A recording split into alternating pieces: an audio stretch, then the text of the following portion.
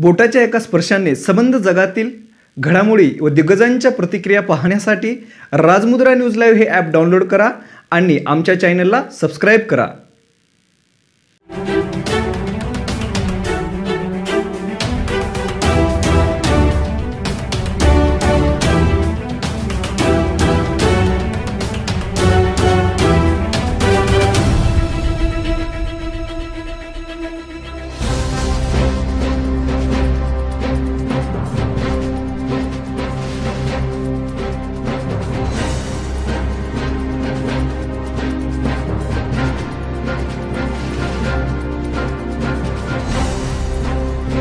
नमस्कार मी आयशा रुस्तुम.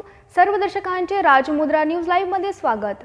राजमुद्रा news live सादर करत आहे नवरात्र उत्सवानिमित्त नवरत्न ही नवीन विशेष मालिका. आज आपण जाणून घेऊया मातंग समाजातील शिक्षण घेणारी मुक्ता साळवे ही पहिली विद्यार्थिनी मुक्ता साळवे यांच्याविषयी.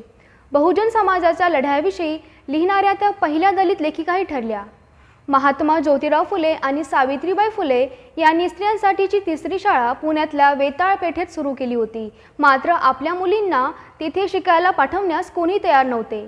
क्रांतीवीर लहुजी वस्ताद साळवे यांनी मात्र आपली नात मुक्ताला त्यांच्या शाळेत पाठवले. मुक्ता मातंग समाजातील होती. या समाजाचा शिक्षणाचा हक्क पूर्वीपासून नाकारला गेला होता. त्यामुळे मुक्ता या शाळेतील अस्पृश्य समाजातील पहिलीच विद्यार्थिनी होती. शाळेच्या तिसऱ्या वर्षी त्यांनी निबंध लेखन स्पर्धेत भाग घेतला आणि धर्म या विषयावर निबंध लिहिला.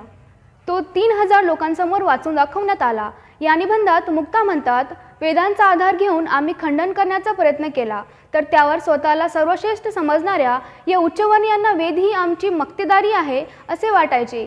ती केवळ आमची मत्ता आहे. मग आता जर वेद केवळ त्यांच्यासाठी असतील तर ते सरळच आहे की ते आपल्याकरिता नाहीत. जर वेद केवळ त्यांच्या संबंधित असतील तर ते उघडच आहे की ते आपले धर्मपुस्तक नाही. आणि जर आपल्यासाठी असे कुठले धर्मपुस्तक नसेल तर आपल्याला कुठलाही धर्म नाही. आपण वेदांप्रमाणे वागण्यास बांधील नाही. आपण वेदांकडे नुसते बघितले तरी आपल्या हातून घोर पातक घडते असा ब्राह्मणांचा दावा आहे. असे असताना वेदांमध्ये सांगितल्याप्रमाणे वागणे ही मूर्खपणाची परिसीमा नाही का? महात्मा फुले यांनी जातीयता निर्मूलनाच्या उद्देशाने सुरू केलेल्या सत्यशोधक चळवळीचे मुक्त साळवे यांना जणू बाळकटूस मिळाले होते. या चळवळीचे कार्यकर्ते शब्दशः सत्याचे शोधक होते. बुद्धी प्रामाण्यवादी आणि समीक्षात्मक विचार करण्यावर त्यांचा भर असे. साळवे त्यांनी त्या काळी शूद्र आणि अतिशूद्रांना गुलामासारखी वागणूक देणाऱ्या हिंदू धर्माच्या विरोधात आवाज उठवला. त्यांनी आपल्या निबंधात शूद्र आणि अतिशूद्रांनाही शिक्षण मिळावे असा आग्रह धरला. मुठभर लोकांच्या हातात धर्माचे हक्क आणि अधिकार असण्याबद्दल त्यांनी जाब विचारला. धर्माच्या सनातनी रूढी आणि संस्कृतीच्या नावाखाली बहुजनांना सोसावे लागणाऱ्या अत्याचार आणि हिंसेविषयी त्यांनी निबंधात निषेध नोंदवला होता. ज्ञानोदय या नियतकालिकेच्या सतरा फेब्रुवारी अठराशे त्रेपन्न रोजीच्या अंकात त्यांचा हा निबंध छापून आला. आजही या निबंधाला भारतभरातील बहुजन चळवळी आणि उठावामध्ये महत्त्वपूर्ण स्थान आहे. गतकाळातील उपलब्ध लिखाणापैकी दलित लेखिकेने लिहिलेले हेच सगळ्यात आधीचे लिखाण असावे असे पुरातत्वज्ञ ब्रजरंजन मनी यांचे मत आहे. साळवे दलित चळवळीचा खंबीर आणि प्रभावी आवाज होत्या. त्यांनी भेदभावाला खतपाणी घालणाऱ्या निष्ठूर जातीव्यवस्थेविरोधात लोकांचे प्रबोधन केलेच. त्याबरोबरच तत्कालीन भारतातील एकोणीसाव्या शतकात स्त्री पुरुष असमानतेविरोधात आवाज उठवला. अठराशे पंचावन्न साली मांग महारांच्या दुःखाविषयी हा लेख त्यांनी लिहिला. या लेखात बाजीराव पेशव्यांच्या काळात महाराणी मांगांना दिली जाणारी भेदभावाची क्रूर आणि अमानवीय वागणूक या विषयाकडे त्यांनी लक्ष वेधले होते. यामध्ये उच्चवर्णीयांनी त्यांचा जमिनी बळकाटून स्वतःची घरे बांधणे त्यांच्या महिलांना प्रस्तुतीवेळी वैद्यकीय मदत न मिळणे संरक्षणापुरते डोक्यावर छत नसणे यासारख्या अमानुष अत्याचारांचा समावेश होता. साळवे यांनी आपल्या कार्यातून हिंदू धर्माच्या नीतिनियमांविषयी जाब विचारला. असा कसा धर्म? ज्याविषयी बोलण्याची बहुजनांना परवानगी नाही त्यांनी या धर्माचे नियम पाळणे मात्र बंधनकारक आहे.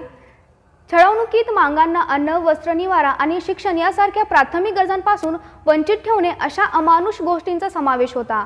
आणि शूद्रातिशूद्रांचा विकास करायचा असेल तर केवळ शिक्षणच उपयोगी पडेल असेही त्यांचे मत होते.